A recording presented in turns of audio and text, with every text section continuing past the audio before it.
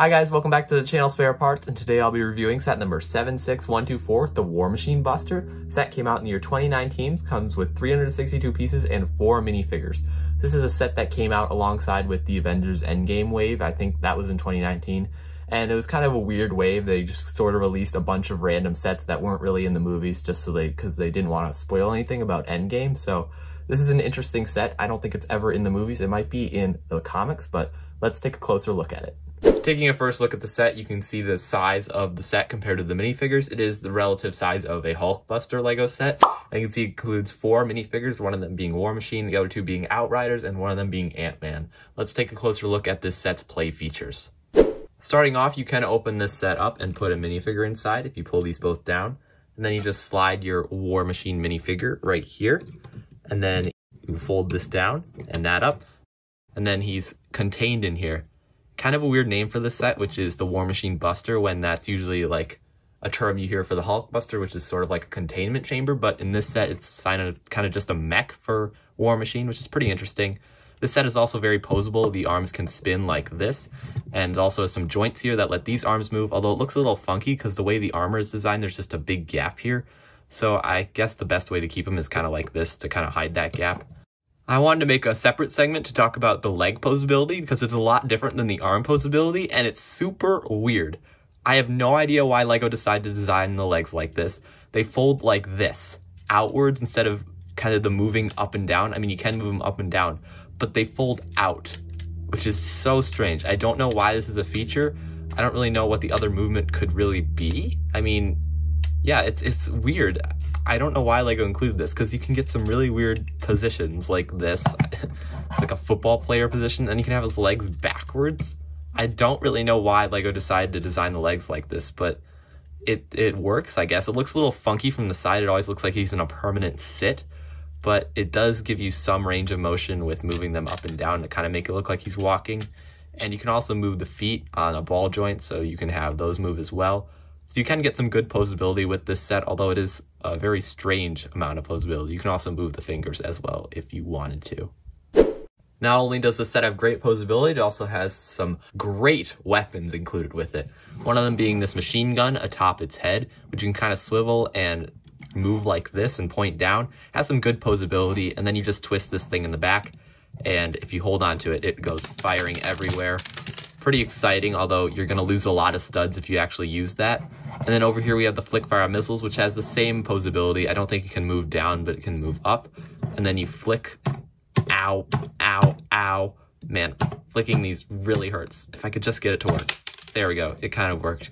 I would never recommend using these flick fire missiles. They suck. Flick fire missiles are awful, but it is a nice inclusion and it does add some extra detail and extra weapons. And then you also do have some stud shooters on his hands, which are actually from the War Machine minifigure, which we will get to eventually, but you just press right here and they go launching off. And the same thing for the other side as well. If you spent all your ammo launching the studs at the wall, however, the set does include some extra ammo inside of the mech. It really is a mech. This is really just a mech set. Now I'm figuring it out. It's not a buster or anything else. It's just a mech, a really oversized mech.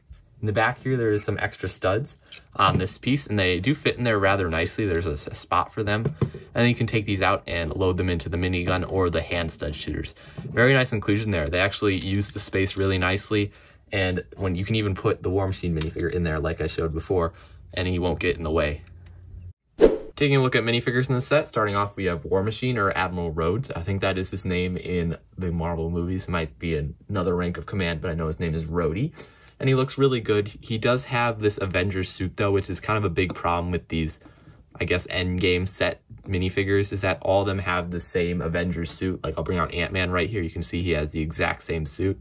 And it can be kind of annoying because it takes away how exclusive they are, which can be pretty annoying because then the minifigure value goes down. But He's a really good minifigure besides that. He has a really nice helmet piece with the black at the back and then the silver. And you can lift it up and you can see that unlike, I think it's Tony Stark's inside helmet design, this is the red design. Like his has Jarvis and it's blue. This one has like the sort of red computer design for his head. And in the back, he has a normal face, which is pretty nice. You could have it open up like that. Something pretty cool about the set you might have not noticed is that the guns that he had on his back and in his hand actually came from the hands of the mech or buster or whatever you want to call it. They come off of the sides of the hands and then you can take them off and can put them on his backpack. So there's a clip on his backpack, pretty nice backpack design, although it is not really anything special. It does the job. And then you can slick the other one in his hand. then you have the ultimate war machine with lots of cannons. Really nice use of parts there. I guess it could be Lego being cheap, but I think it's really ingenious.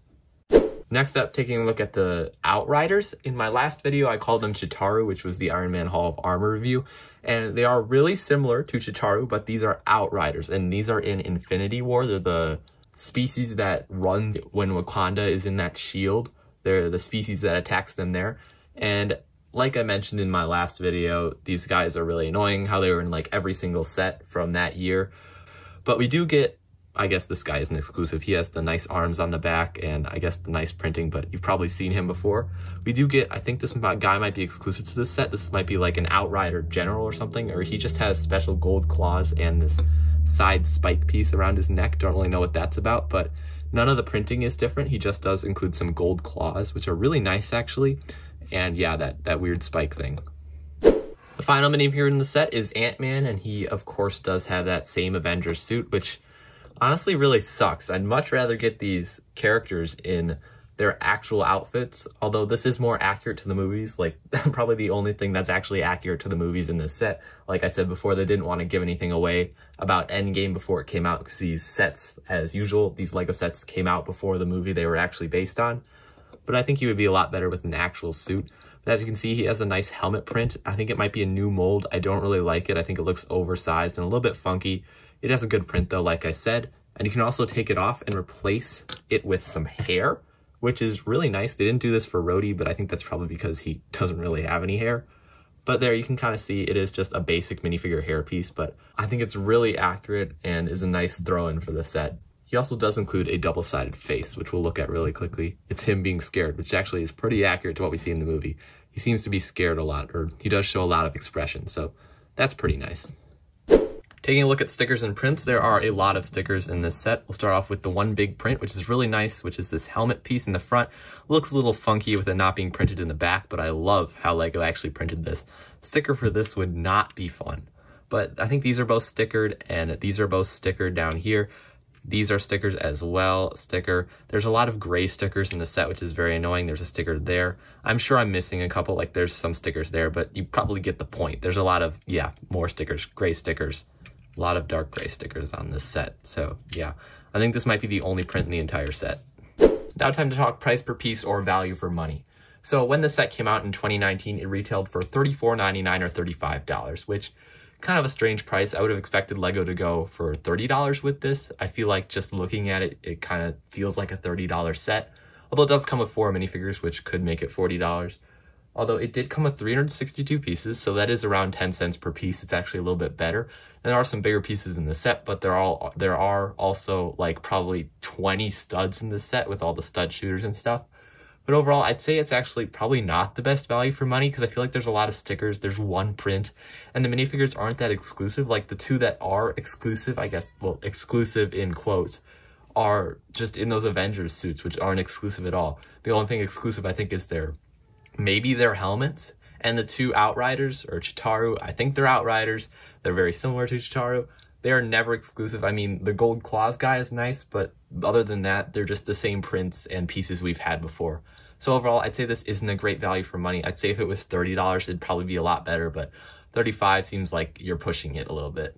This set gets a 0 out of 10 for accuracy.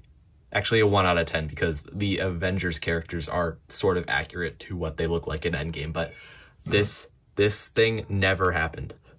So overall, I feel like this set is a 6 out of 10. There's really like, it's it's still good. I feel like the design is pretty good. Maybe not, like some of the arm joints and the gaps on these, like especially the weird standing stance for this mech, basically.